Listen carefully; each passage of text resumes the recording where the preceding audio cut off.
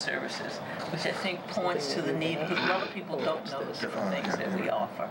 And uh, one of the things, and every time I go to the PLA or ALA, I find some database service that we have that, you know, and, and they're promoting all different ways to use it in terms of resume building. So what might be interesting in term of, is in terms of just sort of packaging that is if you're looking for a job, you know, you've got resume builder, you've got that teaming up with uh, some of the resources and the books are just putting together online mm-hmm. resources in place to find a job, investment, retirement, trustee, caregiving, just some of the most popular topics. Mm-hmm. But to find a way to promote those databases to make it a little bit more easier to, so, to see how they do it. I don't think it's done yet.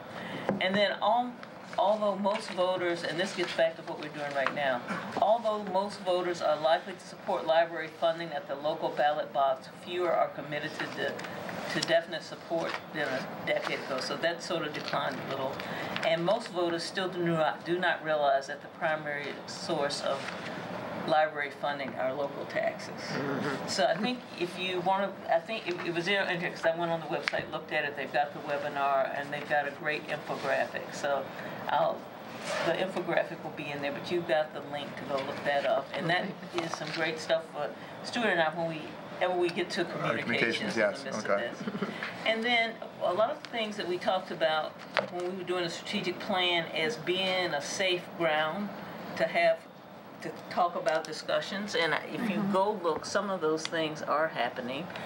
Uh, I think in terms of telling truth from whatever, you know what it was down there. what was that? Fact or fiction. But two libraries in Chicago, in the Illinois area, gave different presentations as some things. And Skokie was well represented in a lot of the things they did because I think the, their director was the assistant in putting on that conference. But one of the things they did is twice a month, they've got about three different things. If you go to their website, you'll see it, and the presentation will have it. Sometimes they'll just have librarians set up a kiosk and just sort of engage in communication and bring people together to talk. Then once a month they do a, uh, something at the table where they bring people together to talk. And so one they once a month they may do a national issue, and then once a month they will do a local issue that may be impacting the community and bring people in. And they had and, and they've got it all online as to what they've done, and that uh, presentation will show. The other one that was uh, I thought pretty good was recruiting and that's basically that was re, uh, refuting the idea of neutral, supporting civic engagement and information in the library. You also had libraries aren't neutral programming and resources for the political climate. Arlington Heights Library, as well as Gail Borden Public Library District, did that. And so there are tons of ideas of ways to do it. And I know that in the kids' library, they do that little mini election process. And so a lot of them are doing it. But there are a lot of ideas like that where you, I think, engage, but you're neutral in how you Right. become mm-hmm. neutral. Mm-hmm. And show what the truth is. Some other ideas, um, they have the big idea and the attention merchants, the epic scramble to get inside our heads by Tim Wu was an excellent presentation. And that might be an interesting book discussion as well as doing some programming, and I'm not trying to take over programming, so you shouldn't see me to appeal it, about, you know, the mindfulness of kids as well as adults in terms of what the you know what always has happened with from advertising to the current state of Facebook and the, in terms of how they monitor it. So I thought that was an interesting book. And so you got a brief description. And then the other one is creativity grants. One library allows staff to pick innovation grant winners based on their presentations, which helps foster more engagement. And that might be interesting to create uh, some type of not contest, but in terms of getting staff engaged and maybe, you know, in terms of doing ideas, doing a presentation, having ways that you measure it to get new ideas generated. So thank you for allowing me to do that. And if I figure out how to send those, the files were rejected when I sent them earlier because it was too too big. I put them yeah, in a saw that. Dropbox. Yeah, that- So now I've got to send it, Yeah. figure out how to send it to Cynthia. What, uh, just to pick up on this creativity grant, um, I've always been interested in what staff picks for those things, and once in a while, we'll get a list of the, the grants and what they are. But I'd almost like to have a more updated, um, pre- not presentation, but report of what the staff is involved doing, because I think that's, that's really cr- creative things that they think of and what they do. And I, I think as a board, we should know about that and, and perhaps some way of validating that. Thank you. Well, thank you, Lisa.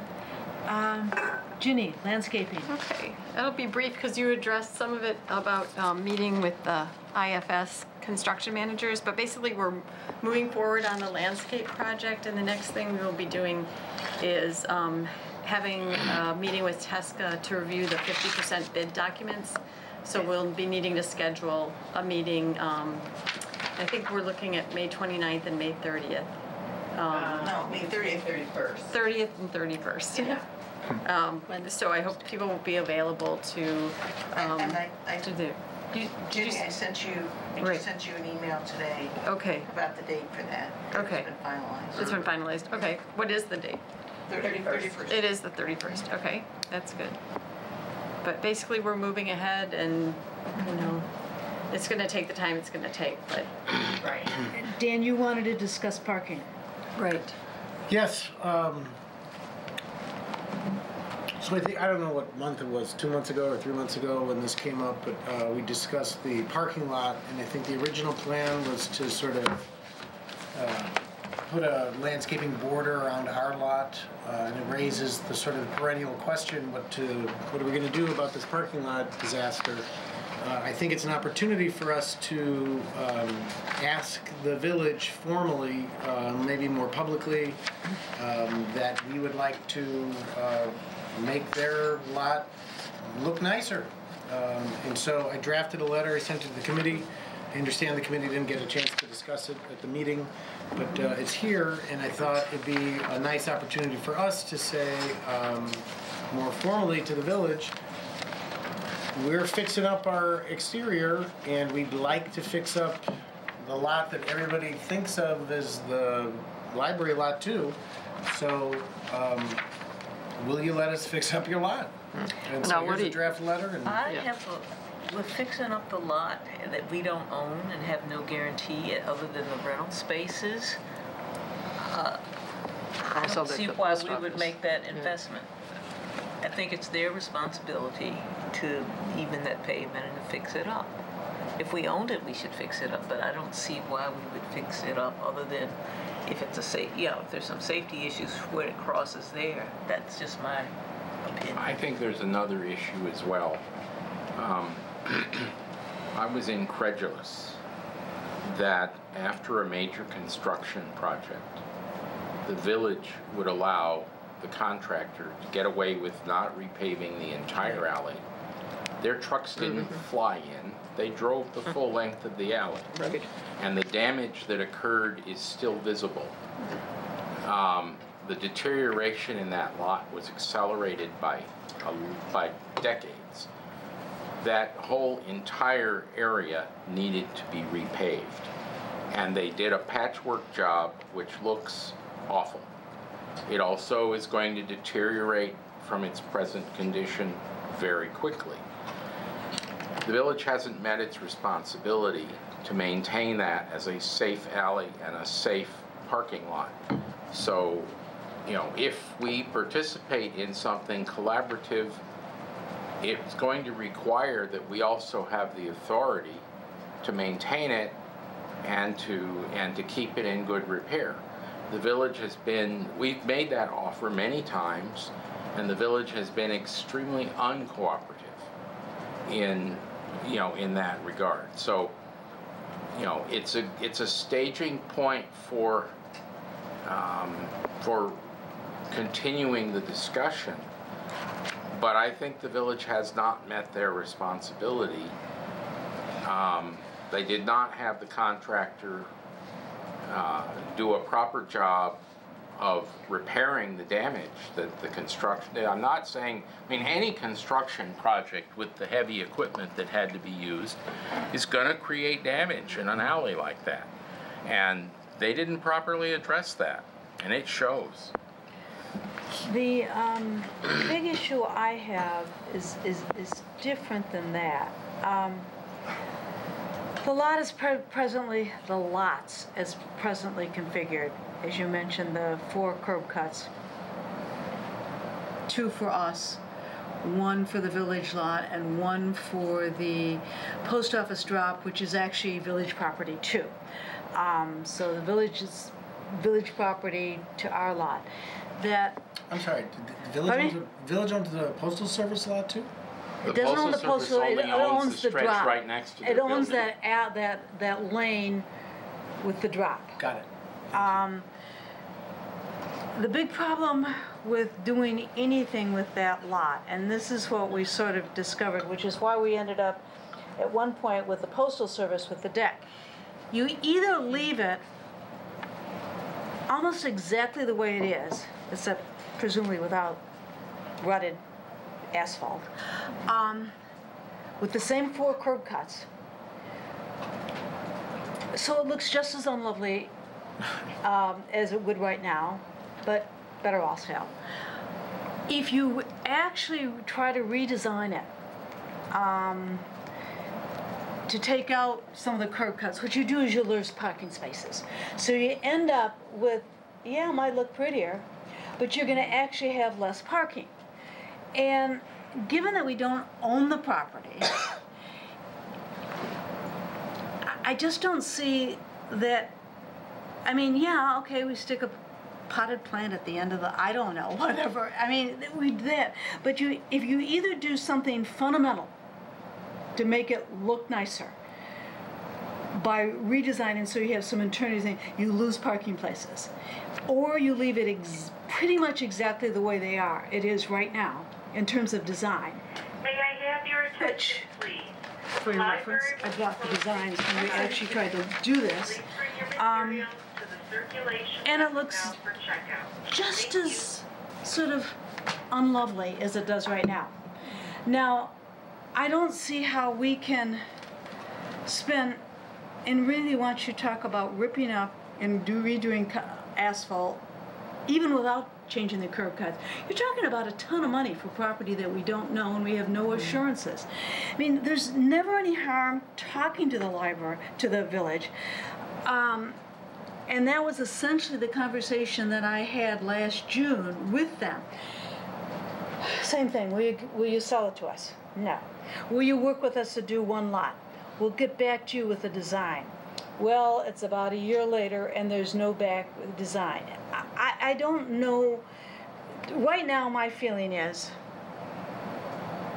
talk to them about renting some places in the new lot they're doing because I don't think they're interested in doing anything. Because, I mean, I talked to them a year ago with exactly that. A, we'll buy it, we won't sell it to you. Okay, B, let's work together and do something. We could, we could improve it, but not a ton. The aesthetics can't improve a ton without losing spaces. We did participate with the village many years ago in a redesign. It was expensive and it rep, and, and it resulted in no increase in spaces and depending on the design detail, it was either even or a few spaces less. And the judgment of both boards was that it wasn't worth spending that much money to get that much less. It wasn't, it didn't look like a good investment. Um, the problem, frankly, is that the village still has a comprehensive plan that envisions that lot as becoming a park. And despite having put a building or approved constructing a large building on a part of what they envisioned as a park, they still have that vision. And it has not occurred to them that if they make that a park and they move, actually, the comprehensive plan specifically talks about moving farmers market there. Well, that would mean that the only parking for farmers market would be our lot. There is no way that's an acceptable plan to any of the library users.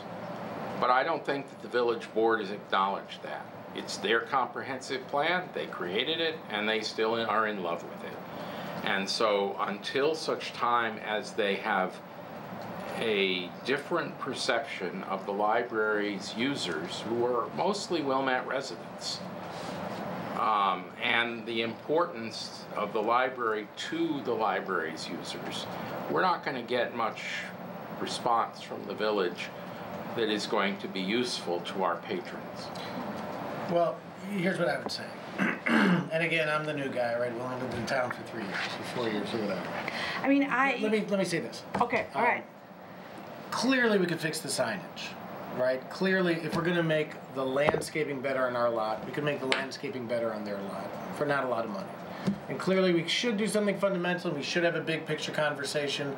But it's sort of more incumbent upon us, I think, to sort of drive the conversation because we care more about it, right? It's, it's really important to us. Our patrons use it every day. It's a disaster, it's a mess.